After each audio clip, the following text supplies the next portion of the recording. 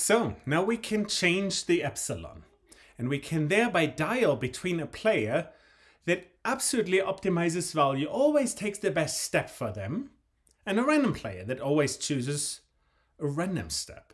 And thereby we now have something with which we can dial that.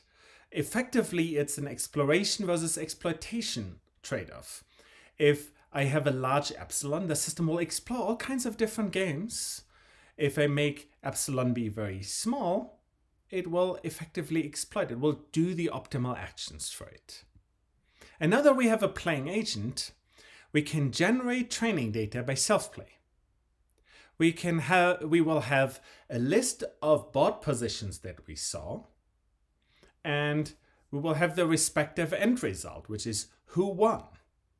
And now effectively we have a machine learning system that wants to take that position and converts it into an estimate of value so that that estimate of value is similar to the respective end result. Just as a reminder, 1 if I win, minus 1 if I lose, 0 if I draw. And this is now a quintessential problem for neural networks. So let's look at how code to do such a thing looks like. So we first need to set up a layer and then we need to define the computation or like we will need to set up a network, a neural network, and then we will need to define the computation in that.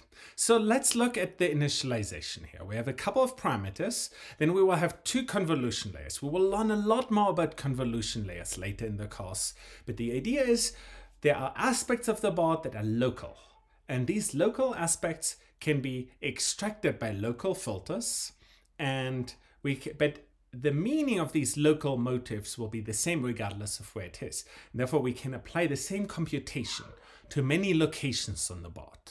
So we will have two convolution layers and we have two linear layers here.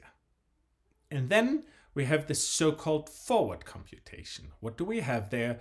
We take the bot, we run a convolution layer on it. With the ReLU nonlinearity, we do another convolution with the ReLU nonlinearity. And then ultimately we have a fully connected network at the end. And we will return then the tanh of the value that we have there. So this fully specifies the network that defines value here.